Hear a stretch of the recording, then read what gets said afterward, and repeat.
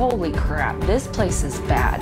There's so much that went wrong there. Even from the second I got there, I knew like I'm being exploited. Really, I think they need to shut down the hospital and start over. I don't think it should continue to run, and I'm not the only one who feels that way. It's a perpetual problem. And who's responsible for it? For months, the Fox 13 News investigative team has been interviewing patients and employees of Highland Ridge Hospital in Midvale. It is a for profit psychiatric facility for children and adults owned by Acadia Health. The Utah Department of Health has cited Highland Ridge 44 times since 2019, finding more than 100 problems. Tonight, Fox 13 News investigative reporter Adam Herbets takes us inside the facility, exposing issues that the Utah Attorney General's office tells us they are now aggressively investigating. For years, we've been calling it a mental health crisis. Horrific neglect when you were at Highland Ridge. And in times of crisis, I was convinced that there was no hope. most patients say they never had a choice where to go. I Had another panic attack until I cried myself to sleep. From the whole start, I was like, mm, they're just doing the bare minimum. Last November, Courtney Holder White checked herself in to Highland Ridge Hospital in Midvale. I went there for treatment of post traumatic stress disorder, and I was traumatized the whole time I was there. Immediately, she says she noticed differences between this facility and the others she had been to. It was night and day. It was so unfair, and I felt so powerless because I know better. Courtney is also a nurse. She does not work at Highland Ridge, but once she checked in as a patient, she says she had no choice but to start acting like an employee. There's so much that went wrong there. Instead of worrying about herself, she described taking care of other patients I can imagine witnessing some of that. and calling police to report the conditions inside. One patient in particular she suspected was being over medicated and neglected by employees who did not wash or change her. She didn't know where she was. She didn't know what she was doing. Glazed over, dazed and confused, didn't know what was going on. She says that was only part of the problem. Each day, Courtney says she was the one who came in to help the patient shower and get dressed. Patients have free access to each other's rooms. Anybody could be in here taking advantage of her. Anybody. Since 2019, Unified Police have investigated these 33 calls to the facility. Five of them are for sexual assault, and some of them involve children.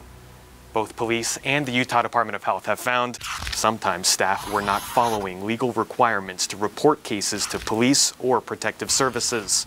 According to one police report, an employee told them providers within the hospital are threatened with being fired if they report such incidents due to it affecting the hospital reputation. He did not want to provide more information because he was scared of retaliation by administration. I could definitely see how that could easily get missed, and that's how sexual assaults happen. Whitney Godfrey was 14 years old when she was transferred to Highland Ridge in 2018. She's been to seven psychiatric facilities to battle depression. Highland Ridge was the worst inpatient I've ever been to. She says the biggest issues were lack of supervision, failure to provide the correct medication, and little to no therapy. Even from the second I got there, I knew like I'm being exploited. The Utah Department of Health says Whitney's complaints were valid, finding the same problems in this inspection from January 2019. Patients assaulting each other due to lack of supervision, patients having their medication administered incorrectly, and patients being discharged before receiving the prescribed number of therapy sessions. That's part of the reason I agreed to this interview is because I feel it's my job as a therapist to be an advocate for these patients. This man was a social worker at Highland Ridge Hospital until July 2019 and is one of 12 employees Fox 13 has spoken with so far. He asked to not be identified due to future employment opportunities. As a therapist, do you think patients left feeling better? That's a complicated question. I think some, yes. I think a lot of them, no. Money is the primary driving factor for them. They treated every single person there, staff and patients included, like a number. Highland Ridge is basically a holding pen. You put them there, you put them on medication, and you leave them. This woman also asked to not be identified for personal reasons and left in 2019. She worked as a technician and believes the hospital was unsafe for patients and staff. Were you guys trained on how to do restraints properly? Oh, no. No.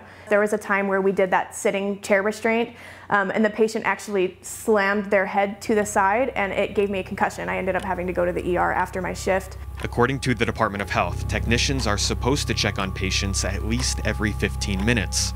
In some cases, every five minutes. You need to watch them breathe. You need to make sure that they are actually inhaling and exhaling. But last July, one of the employees did not realize her patient was dead until he was, quote, cold and stiff to the touch.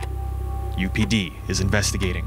It's our responsibility to make sure that they're safe, not only, you know, from each other, but from themselves. Since 2019, the Utah Department of Health has found more than 100 issues at Highland Ridge Hospital, citing the facility with deficiencies in 44 areas.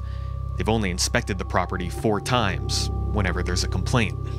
If you have an inspection that you fail, you're going to have a follow up. But the state is repeatedly finding the same problems related to patient safety, despite the facility's promises to retrain staff and correct the issues. It doesn't appear that that is something that's sticking for a long period of time. Joel Hoffman is the Director of Licensing and Certification for the Utah Department of Health. He says the pattern at this facility is concerning. So there are inherent challenges that they do face. It is not easy. Um, but again, that's not an excuse. Honestly, I can't believe it hasn't been shut down by the state already. Okay, like enough's enough. Really, I think they need to shut down the hospital and start over. The facility, in my opinion, needs to be shut down. But the Department of Health says because Highland Ridge receives Medicare and Medicaid funding, only the federal government can start the process of revoking the facility's certification.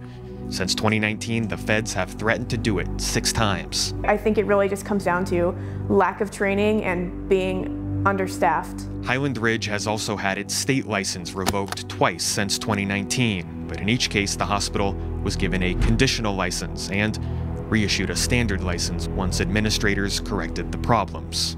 If you don't have enough staff, reduce your clientele a little bit. Once they show correction, then we um, we allow them to operate unless something else comes up. Mental health patients are taken advantage of by the systems that are supposed to help them and fail to protect them.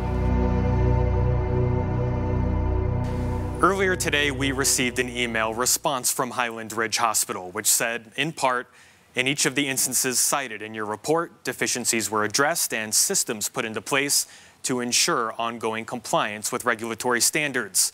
Highland Ridge is fully licensed and currently operates with no pending regulatory restrictions or outstanding deficiencies. The CEO also says he believes a small number of disgruntled former employees are trying to damage the hospital's reputation. Reporting in studio tonight, Adam Herbets, Fox 13 News, Utah. If you have questions about tonight's investigation, Adam will be live on the Fox 13 Facebook page in just a few minutes. He'll try to answer as many questions as possible. And if you have a story you'd like the Fox 13 News investigative team to look into, email iteam at fox13now.com or call the tip line. The number is 801 536 1314.